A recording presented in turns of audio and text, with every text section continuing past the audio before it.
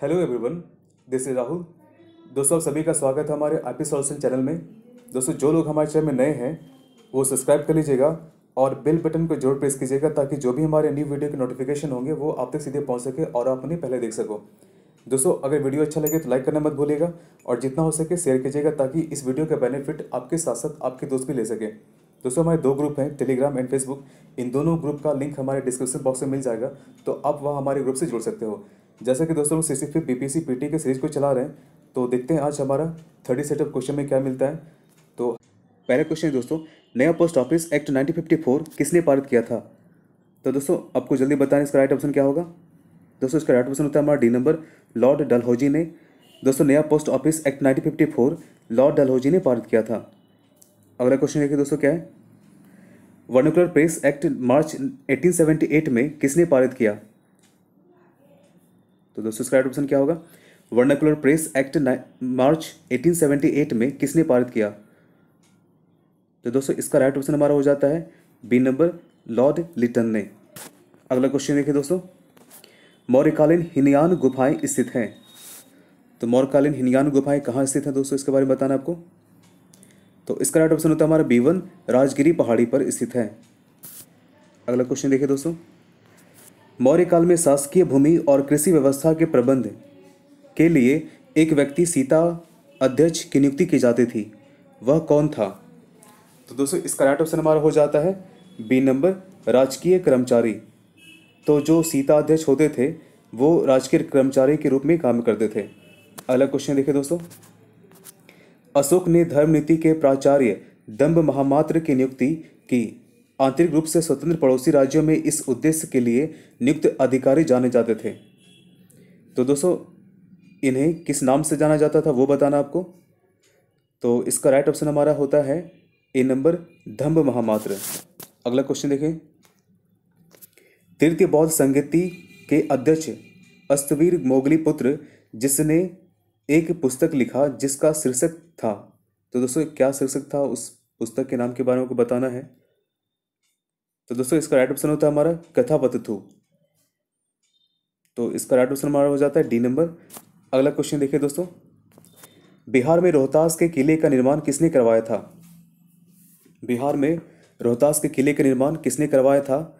तो दोस्तों, इसका राइट ऑप्शन हमारा हो जाता है सी नंबर शेर शाह ने बिहार में रोहतास के किले का निर्माण करवाया था। अगला क्वेश्चन देखिए दोस्तों। ट्रांस साइबेरियन रेलवे जोड़ती है। ट्रांस साइबेरियन रेलवे जोड़ती है तो किसको किसको जोड़ती है दोस्तों? तो इसका जो राइट ऑप्शन हमारा होगा, वो होगा ए नंबर मास्को और ब्लाडी वोस्टक को। मास्को और ब्लाडी वोस्टक को ट्रांस साइबेरियन रेलवे जोड़ती है। नेक्स्ट देखते हैं दोस्तों। पोर्ट ऑफ़ प्रिंस संबंधित है। पोर्ट ऑफ़ प्रिंस संबंधित है तो ये किससे संबंधित है दोस्तों?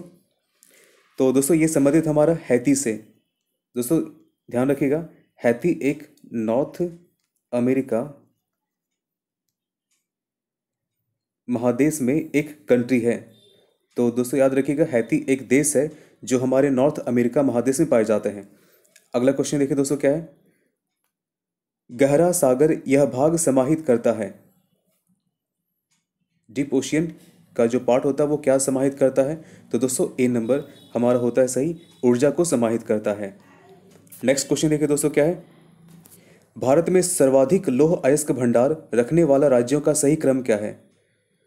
तो दोस्तों, सबसे ज़्यादा किसमें है, फिर कम, फिर किसमें है, फिर कम किसमें है? तो इस प्रकार से आपको सही क्रम बताने हैं।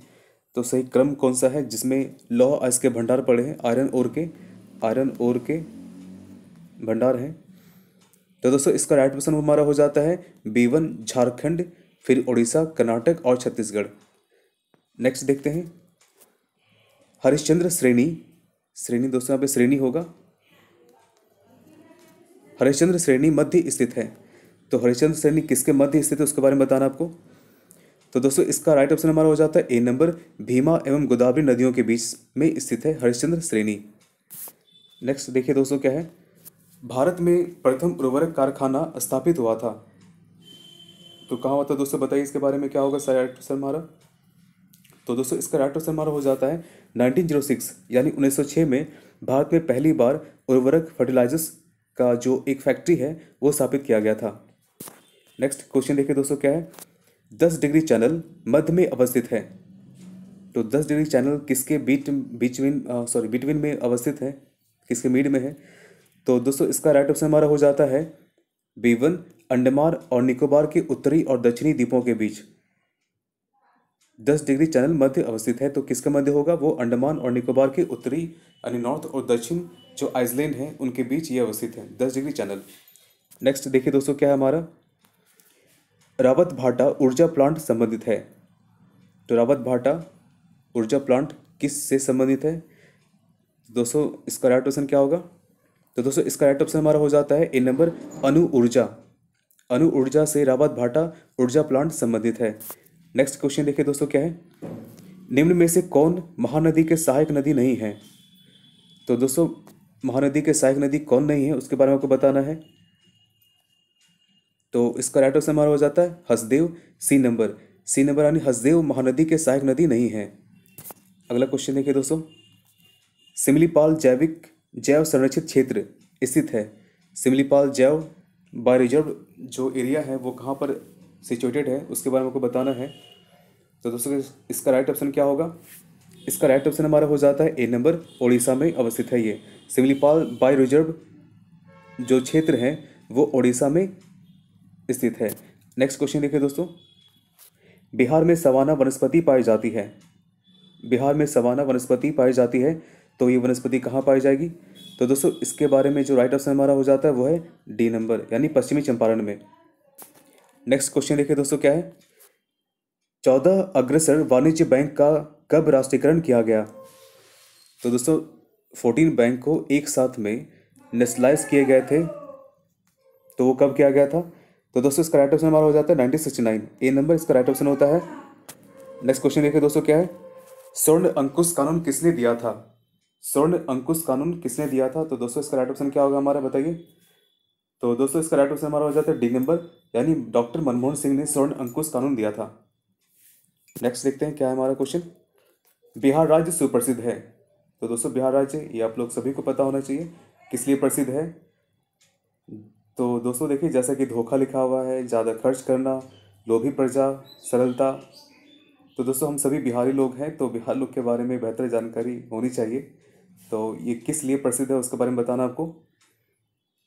तो दोस्तों, इसका जो राइट आंसर हमारा हो जाता है, वो है डी नंबर, सरलता के लिए। तो दोस्तों, इस बिहार राज्य सुप्रसिद्ध सरलता के लिए है। नेक्स्ट क्वेश्चन देखिए, दोस्तों, क्या है? लॉर्ड इरविन ने शारदा कानून को किस वर्ष पास किया था? तो लॉर्ड इरविन ने शारदा कानून को पास करने वाले कब किए थे पास इस कानून को? तो दोस्तों, इसका राइट ऑप्शन हमारा हो जाता है ए नंबर नाइनटीन थर्टी को, यानी 1930 को लॉर्ड इरविन ने शारदा कानून को पास किया था। नेक्स्ट क्वेश्चन देखिए दोस्तों, क्या है? स्वामी विवेकानंद को राष्ट्रीय आंदोलन का आध्यात्मिक पिता, राष्ट्रीय आंदोलन का आध्यात्मिक पिता कहकर किसने संबोधित किया था? तो दोस्तों, इसके राइट ऑप्शन क्या हो जाएँगे हमारे? इसका राइट ऑप्शन होता है हमारा D number Subhash Chandra Bose. Next question देखें दोस्तों, क्या है? भारत छोड़ो आंदोलन के दौरान पहली समानांतर सरकार कहाँ बनी? तो दोस्तों, इसके राइट ऑप्शन क्या होंगे, उसे बताना आपको। तो दोस्तों, इसका राइट ऑप्शन हमारा हो जाता है ए नंबर बलिया। यानी बलिया में भारत छोड़ो आंदोलन के दौरान पहली बार समानांतर, यानी पैरलर गवर्नमेंट बनी थी। समानांतर दोस्तों, जिसको पैरलर कहते हैं पैरलर नेक्स्ट क्वेश्चन देखिए दोस्तों, क्या है? 1930 में पटना स्वदेशी लीग, पटना स्वदेशी लीग की अध्यक्षता किसने की? तो दोस्तों 1930 में पटना स्वदेशी लीग की अध्यक्षता करने वाले जो व्यक्ति थे, वो थे सर अली इमाम। तो सर अली इमाम ने 1930 में पटना स्वदेशी लीग की अध्यक्षता की थी। नेक्स्ट क्वेश्चन देखिए दोस्तों, क्या हमारा? बिहार में पहली बार राज्य का आर्थिक सर्वेक्षण किसने प्रस्तुत किया? इकोनॉमिक सर्वे किसने प्रस्तुत किया था? बिहार राज्य में पहली बार। तो दोस्तों, इसका राइट ऑप्शन हमारा हो जाता है बी नंबर सुशील मोदी ने। सुशील मोदी ने बिहार में पहली बार राज्य का आर्थिक सर्वेक्षण को प्रस्तुत किया था। नेक्स्ट क्वेश्चन देखिए दोस्तों, क्या है? पृथ्वी सौ किस खेल से जुड़े हुए हैं?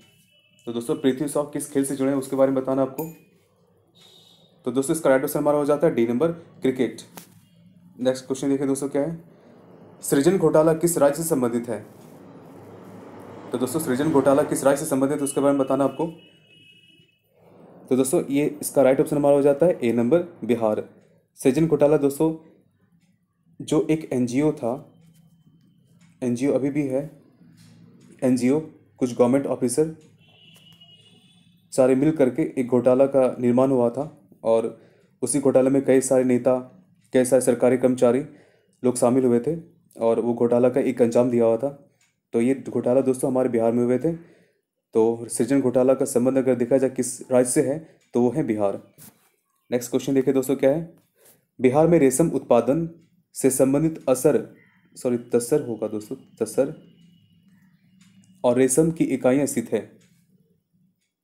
तसर और रेशम की इकाइयाँ दोस्तों स्थित है, वो क्या होगा? इसका राइट ऑप्शन तो इसका राइट ऑप्शन क्या होगा बताइए दोस्तों? दोस्तों, इसका राइट ऑप्शन हो जाता है हमारा A number Bhagalpur. Next question देखते हैं दोस्तों, और लास्ट क्वेश्चन हमारा आज का। बिहार में सर्वाधिक सिंचाई का साधन निम्न में से कौन है? तो बिहार में सर्वाधिक सिंचाई का साधन निम्न में कौन है, इसके बारे में बताना है दोस्तों।